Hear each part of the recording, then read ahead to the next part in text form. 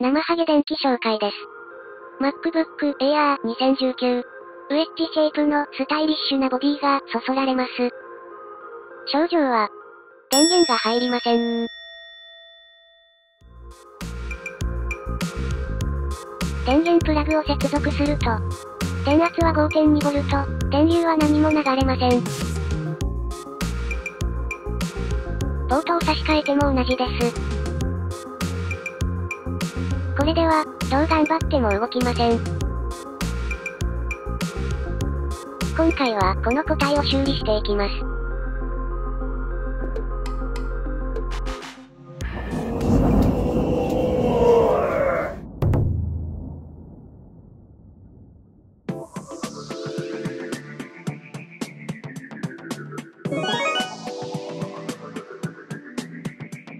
裏カバーを外して、中の状態を確認してみましょう。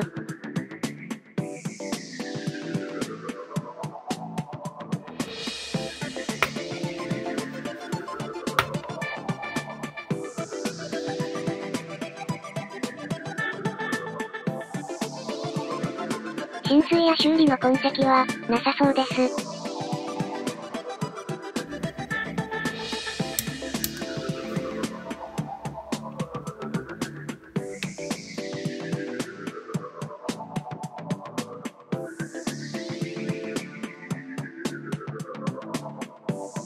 内部電圧は何も出ていません。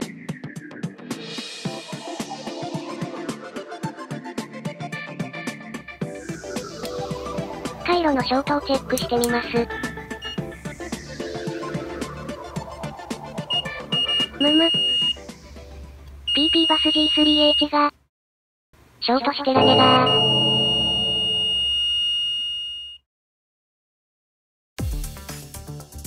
PP バス G3H は、電源レールの要。これが出ないと、何も動きません。まずは、ロジックボードを取り外して、原因を突き止めてみるべ。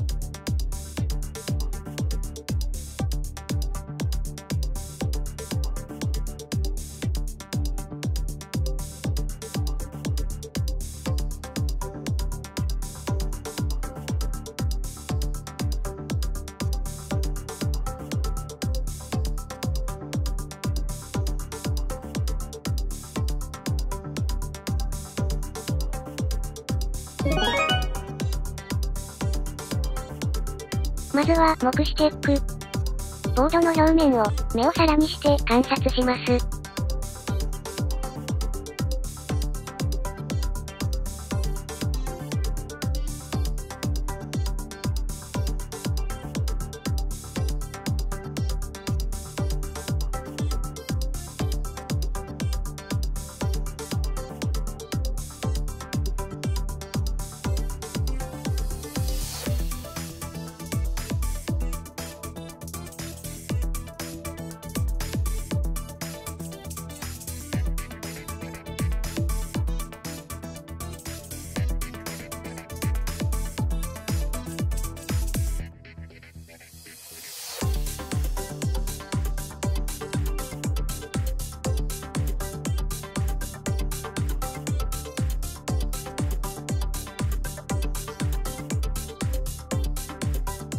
むむ。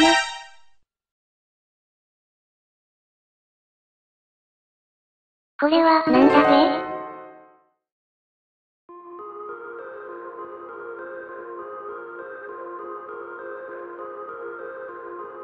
腐食の跡か？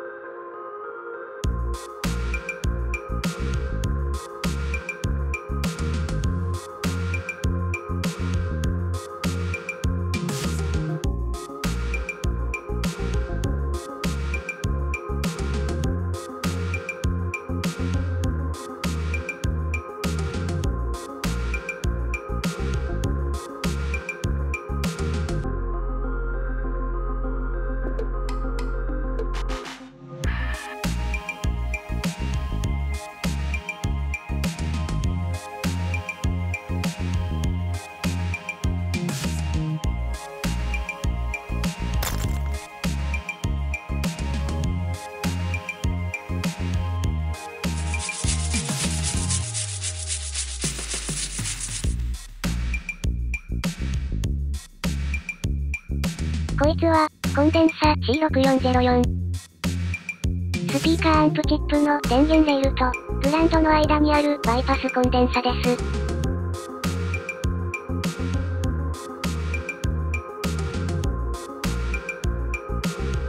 こいつが不良の可能性があるので、取り外してショートが解消されるか確認します。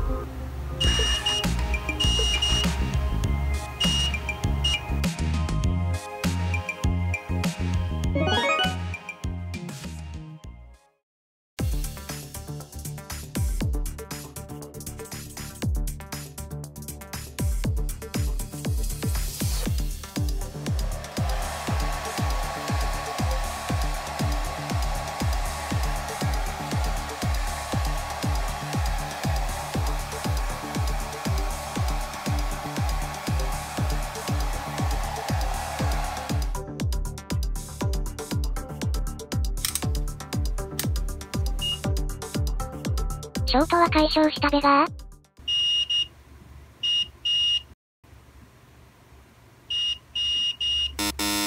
ショートは解消しませんでした。こいつが原因では願ったが先ほどの C6404 コンデンサチップを通って、PP バス G3H が U6400 に入力されています。このチップが原因なのか確認します。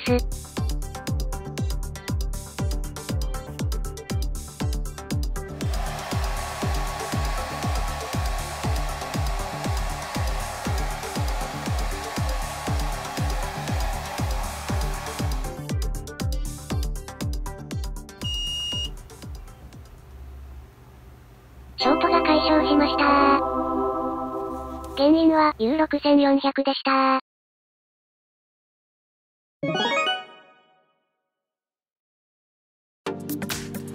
6400、スピーカーアンプチップを交換していきます。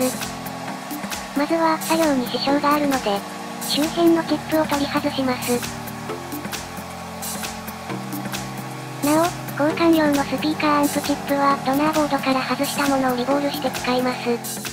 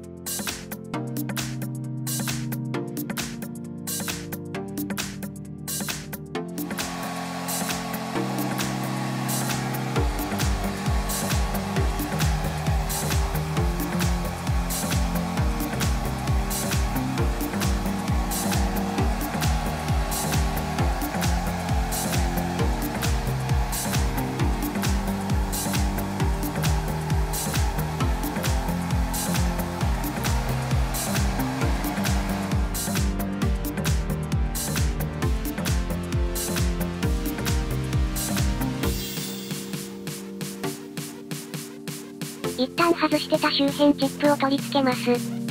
C6404 コンデンサチップは新しいものに交換です。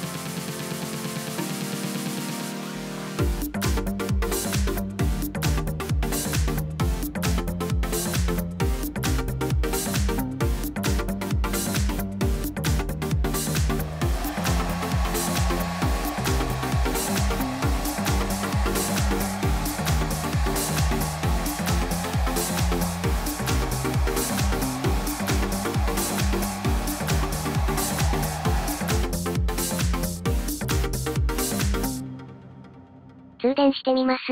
煙が出ませんように。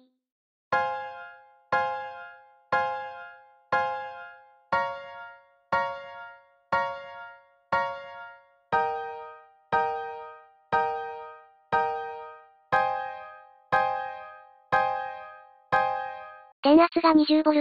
出ました。煙は出ていません。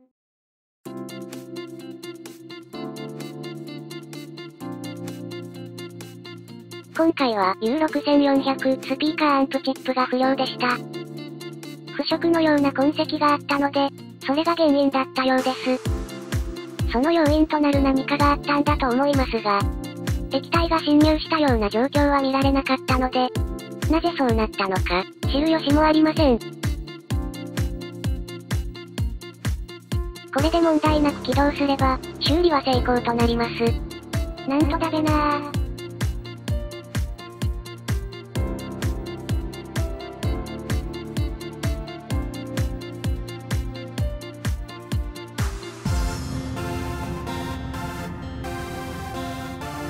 内部電圧はちゃんと出てます起動の確認をしてみるべ。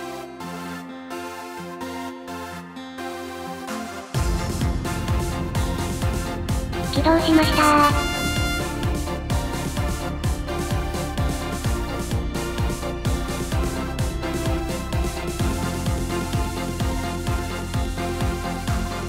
MacBook や最大の特徴のウェッジシェイプボディは、他のモバイルノートのデザインにも多大な影響を与えました。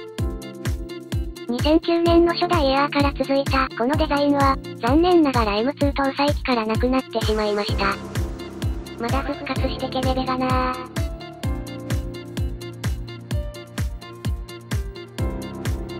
問題なく起動しました表示も良好です